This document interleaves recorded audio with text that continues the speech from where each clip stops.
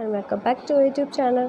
Solo फिर आपको दिख रही होगी ये हमारी मैप एक्टिविटी बुक जो कि बहुत ज़्यादा मतलब उन लोगों के लिए है, उन लोगों के लिए है जो एकदम मैप से सोचते हैं, यार बोरिंग बुक है, क्या समझेंगे? इवन कि अगर एक दो बार पढ़ भी लेते हैं तो भी फिर उनको तो भी बोरिंग लगता है। सो so बेसिकली बोल सकते हैं कि जिन लोगों को मैप्स एकदम बिगनिंग से सीखना है तो उन लोग, वो लोग क्या कर रहे हैं? तो जैसे मैंने ट्रिक अपनाई है, वैसे ही मैं आपको बताऊँगी। So all of you video start करने से पहले मैं आपसे कहूँगी, मेरी चैनल को सब्सक्राइब करके वीडियो को लाइक करके, अपनी वीडियो में बढ़ते हैं आगे। सो ऑल ऑफ़ यू हमारा फ़र्स्ट पे तो देख लेते हैं इसका कंटेंट्स में मतलब क्या क्या दिया गया है। तो हमारा फ़र्स्ट पे तो चैप्टर वन पे दिया गया है कंटेंट्स एंड ओशियंस ठीक है? और तो ये सब इतने दिए गए हैं। आपको डिटेल में वीडियो इनकी भी मिल जाएगी। तो हम अपने वीडियो में बढ़ते हैं आगे। सो यहाँ पे हमारा फ़र्स्ट चैप्टर दिया गया है, जो कि आपको एकदम एकदम इजी लग रहा होगा, है ना? और इजी लग भी रहा है इजी है भी है। ठीक है तो हम अपनी वीडियो में बढ़ते हैं आगे। तो हमारा first chapter word continent and ocean दिया गया। तो पहले हम समझते हैं टर्म कॉन्टिनेंट क्या होता है, ठीक है? The land area on earth is divided into some very large part called continents मतलब काफ़ी लार्ज अमाउंट ऑफ़ एरिया होता है, उसको हम कॉन्टिनेंट बोल सकते हैं, ठीक है? तो अब इसमें हम लोगों को सेवन कॉन्टिनेंट्स दिए गए हैं means all over the world we have only seven continents ठीक है? तो हमारे सेवन कॉन्टिनेंट देखो फ़र्स्ट ऑफ़ ऑल तो एशिया है जो कि सबसे ज़्यादा लार्जेस्ट कॉन्टिनेंट में आता है ठीक है? फिर Africa North America South America Europe Australia and Antarctica ठीक है? अब मैं आपको थोड़ा ग्लोब में बता देती हूँ। सॉरी पहले आपको मैप में बता देती हूँ फिर आप उसमें देख लेना।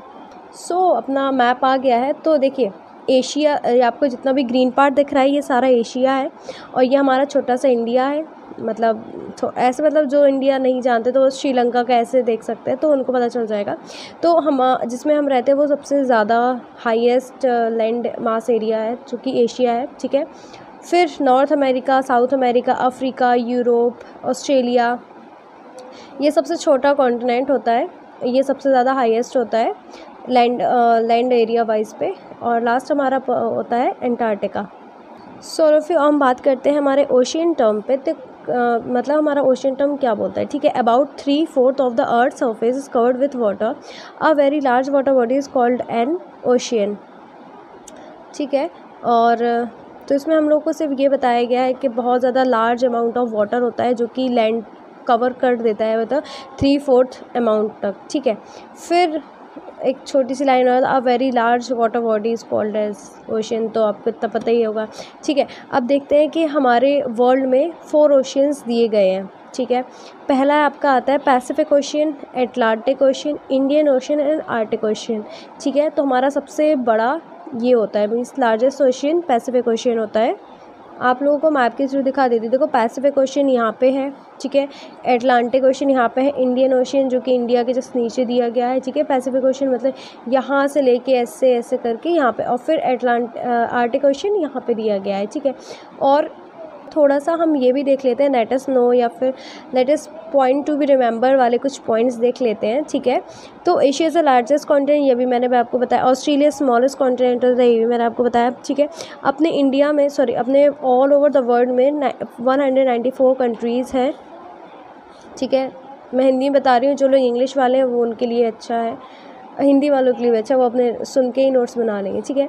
Russia is the largest country ठीक है, रशिया सबसे ज़्यादा अमाउंट मतलब लैंड वाइज में सबसे ज़्यादा लार्जेस्ट है। और जो सबसे छोटी दी गई है वर्टिकन सिटी दी गई है, जो कि सबसे स्मॉलेस्ट है, ठीक है। As we all know China की जो पॉपुलेशन है, वो सबसे ज़्यादा हाई है ऑल ओवर द कंट्री ठीक है। और जो वियतनाम सॉरी जो वर्टी वर्टिकन सिटी है जो कि लीस्ट पॉपुलेटेड मीन्स उसकी जो पॉपुलेशन है चाइना से एकदम ऑपोजिट है। चाइना की सबसे ज़्यादा है तो उसकी सबसे कम है ठीक है? सो so, यहाँ पे आपको सबसे इंपॉर्टेंट पॉइंट मैं आपको बता देखो। Some people says that there are five ocean अब भी अपन लोग ने पढ़ा है कि अपन के पास all over the world four oceans है ठीक है? But the fifth being and Atlantic और साउथर्न ओशियन ठीक है? Is consist of the southern part of the first three ocean mentioned above. ये देख सकते हो आप लोग यहाँ पे। ठीक है? और लास्ट में पॉइंट आता है हमारा the Pacific ocean is the largest ocean ये भी मैंने आपको बता दिया है। सो so गाइज़ इसी के साथ हमारा ये फ़र्स्ट चैप्टर कंप्लीट होता है कि मेरी वीडियो अच्छी लगी तो प्लीज़ चैनल को सब्सक्राइब करके वीडियो को लाइक करके, और बहुत ज़्यादा शेयर कर देना। मिलते हैं नेक्स्ट चैप्टर के साथ, तब तक के लिए bye bye thanks for watching